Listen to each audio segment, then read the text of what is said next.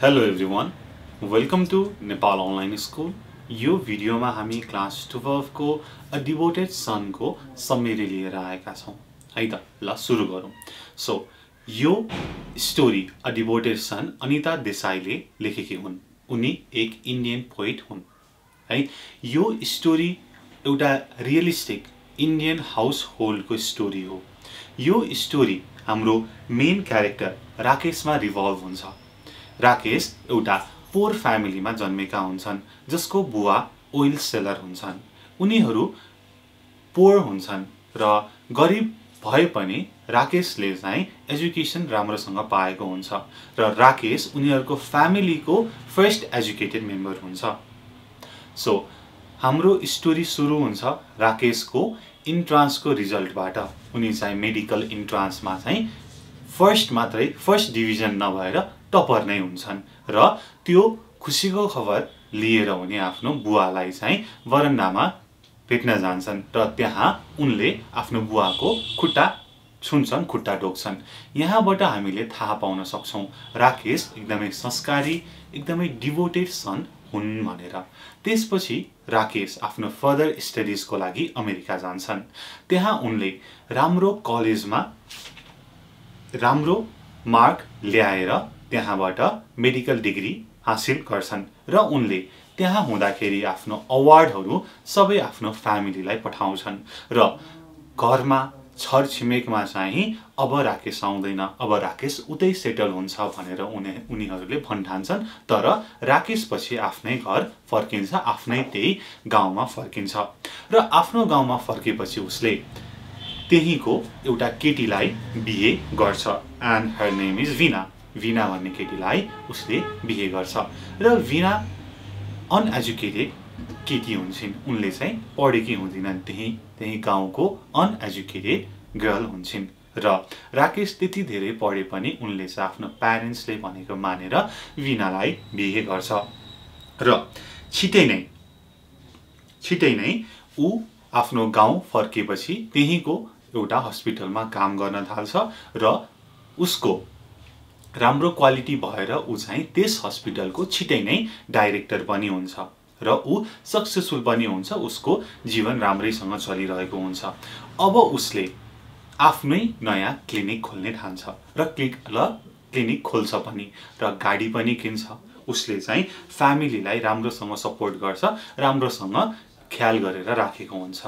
But unfortunately her mother dies उनको आमा बित्छिन् त्यसपछि his father is broken into pieces he is extremely sad he is depressed उन ऊ चाहिँ डिप्रेस्ड हुन्छन् एट हर वाइफ्स डेथ अब अब राकेश आफ्नो क्लिनिक छ। उसले आफ्नो घर परिवारमा त्यति धेरै टाइम दिन पाउँदैन। उसको फादर पनि अब बिरामी हुन्छन्।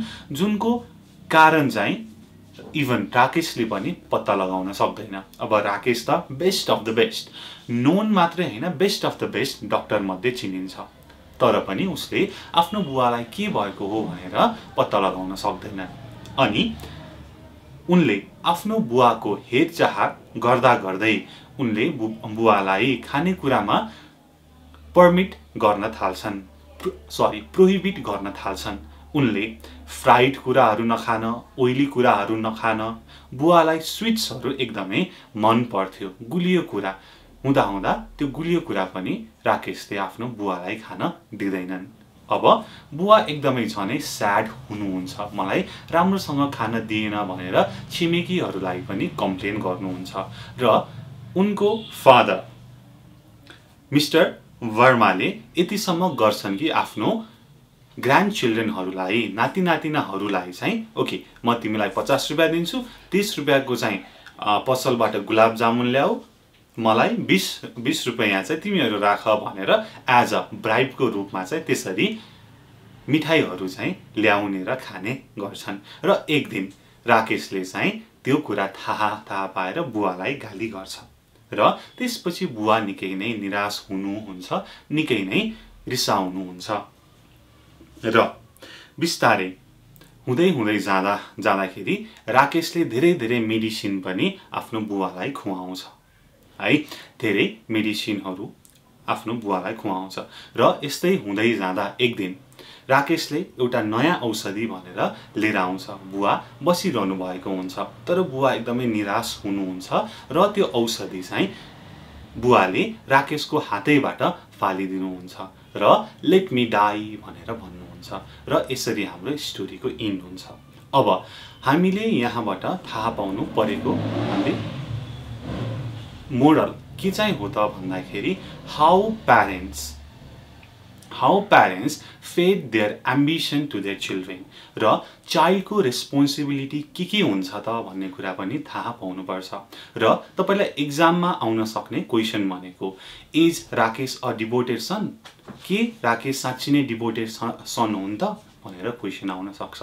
त्यो चाहिँ तपाईँमा डिपेन्ड हुन्छ है? यस हो भनेर पनि भन्न सक्नुहुन्छ किनकि उनले आफ्नो बुवाको बारेमा मात्रै सोचेका थिए। बुवालाई नै राम्रो होस् भनेर सोचेका थिए।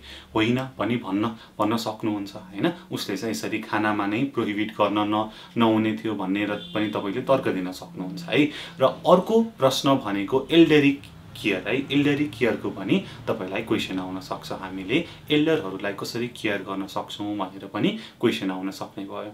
And the next important question is मेडिसिनको बारेमा। है medicine over use of medicine nutrition vitamins होइन प्रोटिन यसको चाहिँ युजहरू मेडिसिनको युजहरू is it beneficial for us is it healthy for us भन्ने कुरा पनि आउन सक्छ। है त? सो यति तिनवटा कुरा तपाईँले याद गर्नु पर्यो सो यो स्टोरी तपाईँले बुझ्नुभयो कि भएन please let me know in the comment below है त? So thank you so much for watching until next time goodbye thank you see you on next video